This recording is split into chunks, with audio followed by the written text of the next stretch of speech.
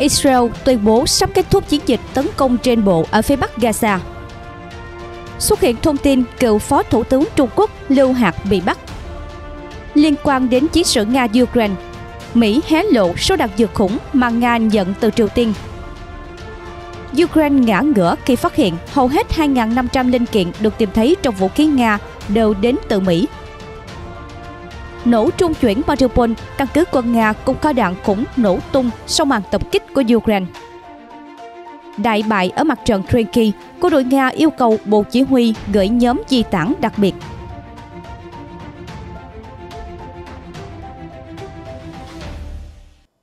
Xin kính chào và cảm ơn quý vị đã dành thời gian theo dõi tin tức trên kênh HTD News. Vừa rồi là những nội dung chính trong bản tin của ngày hôm nay và ngay bây giờ là nội dung chi tiết. Israel tuyên bố sắp kết thúc chiến dịch tấn công trên bộ ở phía bắc Gaza. Quý vị thân mến, người phát ngôn lực lượng phòng vệ Israel IDF cho biết quân đội đã xóa sổ hầu hết các tiểu đoàn Hamas ở phía bắc Gaza và bắt đầu chuyển sang các khu vực giao tranh mới như Darai và Tufaq của thành phố Gaza. Theo báo The Times of Israel, trong một tuyên bố ngày 20 tháng 12, người phát ngôn của lực lượng phòng vệ Israel, chuẩn đô đốc Daniel Hagari, cho biết lực lượng sắp kết thúc cuộc tấn công trên bộ ở phía bắc dãy Gaza sau khi đánh tan hầu hết các tiểu đoàn Hamas trong khu vực. Theo ông, quân đội bắt đầu chuyển sang chiến đấu với lực lượng Hamas tại các khu lân cận Dagres và Tafra sau gần 2 tháng kể từ khi lực lượng phòng vệ Israel bắt đầu cuộc tấn công trên bộ, vốn tập trung chủ yếu vào phía bắc Gaza. Bộ trưởng Quốc phòng Israel Yoav Gallant cho biết quân đội về cơ bản đã chinh phục được một nửa khu vực này. Cũng trong một tuyên bố cùng ngày, người đứng đầu Bộ Tư lệnh phương Nam của lực lượng phòng vệ Israel, Thiếu tướng Yagron Griman, cho biết quân đội đang trong một giai đoạn quan trọng khác của cuộc tấn công tại các khu vực mới. Thiếu tướng Yagron Brinkman nhấn mạnh trong một chuyến thăm tiền tuyến ở miền nam Gaza. Cuộc tấn công này sẽ tiếp tục và gây áp lực lên kẻ thù trên mặt đất và dưới lòng đất. Chúng tôi sẽ tiếp tục mở rộng ra các khu vực chưa hoạt động. Trong một diễn biến liên quan, lực lượng phòng vệ Israel công bố đoạn video ghi lại cảnh tấn công vào một đơn vị của Hamas đang chuẩn bị phóng máy bay không người lái mang chất nổ nhằm vào Israel như một phần trong nỗ lực chống lại hoạt động trên không của Hamas. Chỉ huy lực lượng trên không Hamas đã thiệt mạng trong một cuộc không kích của Israel vào cuối tháng 10. Theo lực lượng phòng vệ Israel, nhiều thành viên hàng đầu khác của Hamas cũng đã bị tiêu diệt. Xuất hiện thông tin cựu Phó Thủ tướng Trung Quốc Lưu Hạc bị bắt.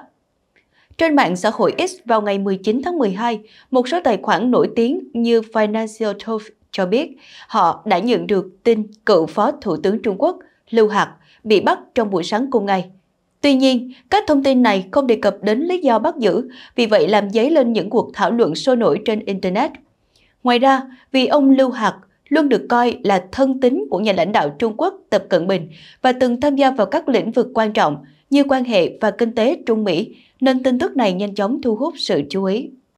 Một số cư dân mạng cho rằng nếu tin tức này là sự thật thì rất có thể ông Lưu Hạc đang bị tình nghi là điệp viên Mỹ bởi lẽ, đối với những chức vụ từ phó thủ tướng trở lên ở Trung Quốc, các cựu quan chức sẽ không bao giờ bị bắt vì tội tham nhũng. Tuy nhiên, nhà bình luận độc lập Thái Thần Khôn cho biết tin tức này không đáng tin cậy.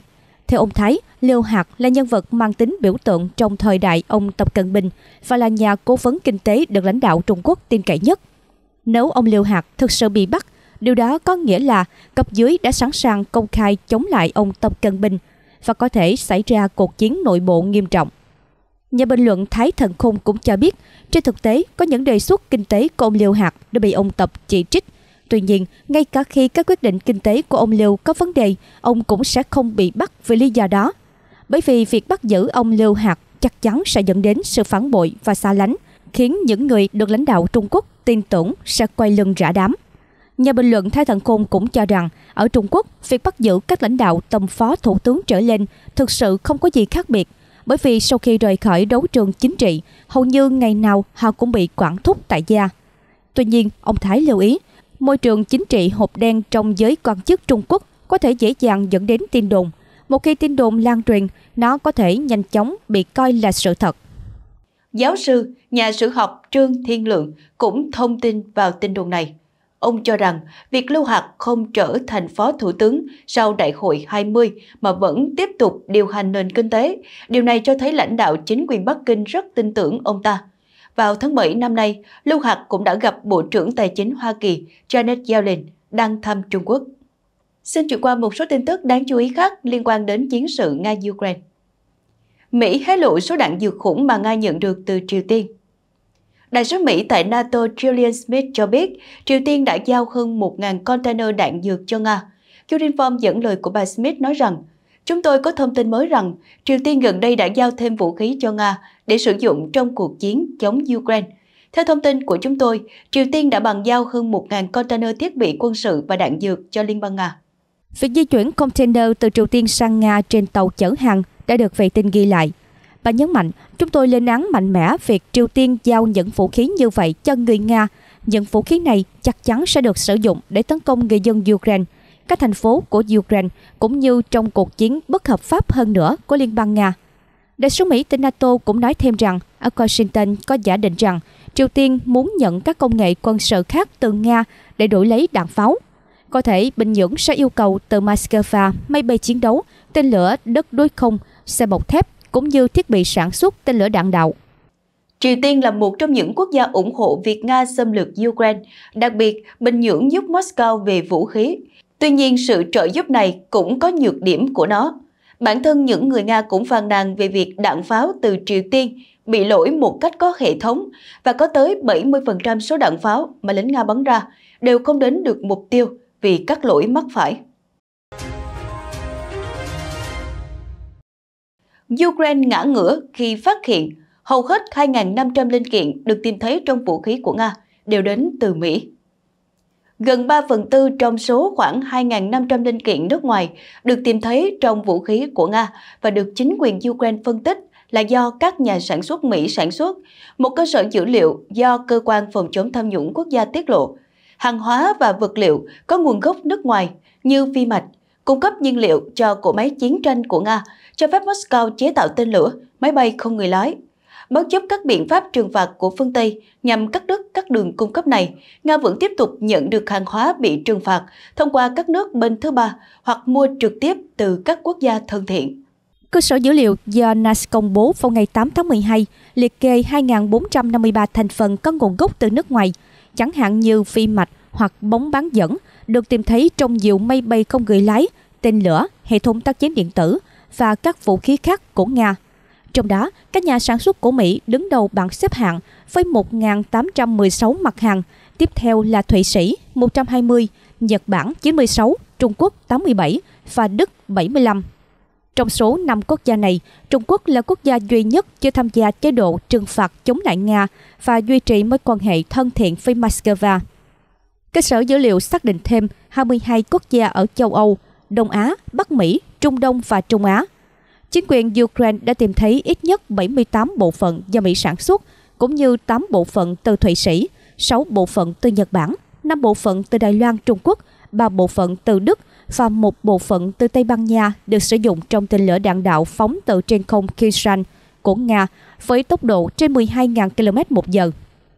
Ít nhất 17 linh kiện của Mỹ cùng với một linh kiện từ Thụy Sĩ và một linh kiện từ Đài Loan đã được sử dụng trong UAV license. Trong máy bay không người lái loại Shahed 136 do Nga sản xuất có tên Kiran 2, nhà chức trách đã tìm thấy 55 bộ phận được sản xuất tại Mỹ, 15 bộ phận từ Trung Quốc, 13 bộ phận từ Thụy Sĩ và 6 bộ phận từ Nhật Bản, cùng nhiều bộ phận khác.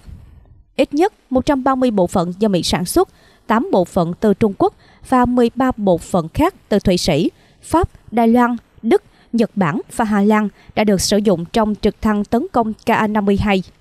Do nhiều công ty phương Tây ngừng cung cấp sản phẩm của họ cho Nga và Belarus theo lệnh trừng phạt, doanh số bán hàng trực tiếp của hàng hóa có công dụng kép từ các quốc gia như Mỹ, Anh và EU thực sự đã giảm 96%. Nghiên cứu của Ngân hàng Phần Lan cho thấy. Đổi lại, việc tái xuất khẩu hàng hóa nhạy cảm sang Nga của các nước như Trung Quốc, Thổ Nhĩ Kỳ và các quốc gia từ Trung Á và Caucasus đã tăng vọt trong bối cảnh cuộc chiến Ukraine sắp tròn 2 năm. Các biện pháp trừng phạt mới nhất của EU nhằm giải quyết vấn đề này. Một trong những biện pháp mới do khối áp đặt yêu cầu các nhà xuất khẩu châu Âu cấm tái xuất khẩu sang Nga các hàng hóa hoặc vật liệu có công dụng kép được tìm thấy trên chiến trường ở Ukraine.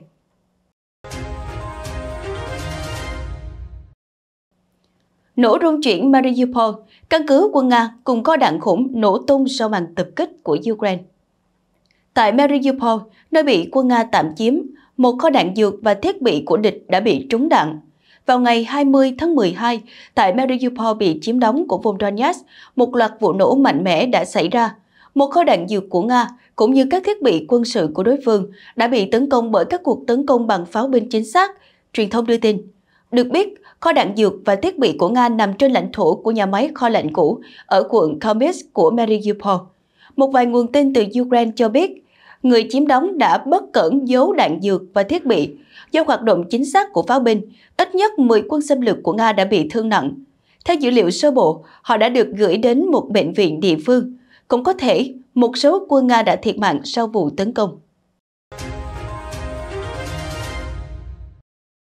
Đại bại ở mặt trận Karinki, quân đội Nga yêu cầu Bộ Chỉ huy gửi nhóm di tản đặc biệt. Quân nhân của tiểu đoàn xung kích số 24 Aida Stanislav Buryatov với biệt hiệu Osman báo cáo. Giao tranh ác liệt đang diễn ra ở tả ngạn của vùng Kherson, gần làng Karinki. Quân đội của Nga khi cố gắng đánh bật lực lượng Ukraine khỏi đầu cầu đã phải chịu tổn thất nặng nề. Theo dữ liệu của ông, tình hình ở Krenki vô cùng khó khăn. Người Nga đang tích cực sử dụng máy bay không người lái tấn công, trong đó có laser. Đồng thời, người lính Ukraine bảo đảm rằng lực lượng của họ vẫn đang nắm chắc thế chủ động và phòng thủ, gây tổn thất nặng nề cho quân đội Nga. Osman nói rằng giới chỉ huy Nga đang tiêu diệt bộ binh sau cuộc tấn công vào Krenki không thành công. Người Nga đã yêu cầu một nhóm di tản riêng vì có khoảng 85% bị thương và thiệt mạng. Về thể chất, họ không thể tự mình đối phó được. Bộ Tổng tham mưu Ukraine cho biết, trong ngày 20 tháng 12, đối phương đã thực hiện 29 lượt xung kích không thành công, cố gắng đánh bật các đơn vị Kiev khỏi tả ngạn của sông Dnieper. Trong ngày, máy bay Ukraine đã tiến hành không kích vào 16 khu vực tập trung nhân lực, vũ khí, khí tài và hệ thống tên lửa phòng không của đối phương. Lực lượng tên lửa đánh vào hai khu vực tập trung quân, vũ khí, trang thiết bị quân sự của địch và 6 cái tài pháo binh của Nga. Trong 24 giờ qua, có tổng cộng 89 cuộc đụng độ được ghi nhận. Nga đã phóng 5 tên lửa, tiến hành 31 đợt không kích và 53 đợt tấn công bằng pháo phản lực bắn loạt. Và thông tin vừa rồi cũng đã kết thúc nội dung phần tin tức của chúng tôi tại đây. Chúng tôi sẽ tiếp tục cập nhật những tin tức liên quan trong bản tin mới nhất trên kênh HTD News. Mọi ý kiến đóng góp cho chương trình, xin quý vị để lại ở dưới phần bình luận hoặc gửi qua hộp thư htdnews.btv.gmail.com Một lần nữa, đội ngũ HTD News rất mong nhận được sự ủng hộ của quý vị khán thính giả. Xin chào và hẹn gặp lại ở bản tin kế tiếp.